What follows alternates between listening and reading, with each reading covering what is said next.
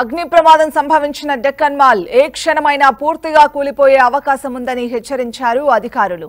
ఐదు రోజులుగా మంటల్లో భవనంలోని స్లాబ్లు ఒక్కొక్కటిగా పెచ్చులుడుతున్నాయి. ఆదివారం రెండో సెల్లార్ సహా ఒకటి రెండు మూడవ అంతస్తుల వరకు స్లాబ్లు కూలి మొదటి సెల్లార్లో పడిపోయాయి. క్రమంగా భవనం బలహీనపడి కుప్పకూలే అవకాశం ఉన్నట్లు అధికారులు అంచనాకు వచ్చారు.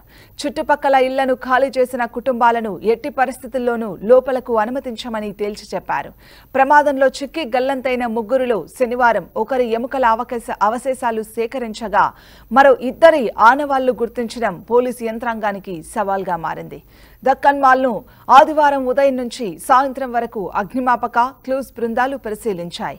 ప్రమాదకర పరిస్థితుల్లోనూ ధైర్యంగా అన్ని అంతస్తుల్లోకి వెళ్ళి మిగిలిన ఇద్దరి ఆనవాళ్ళు సేకరించేందుకు ప్రయత్నించారు.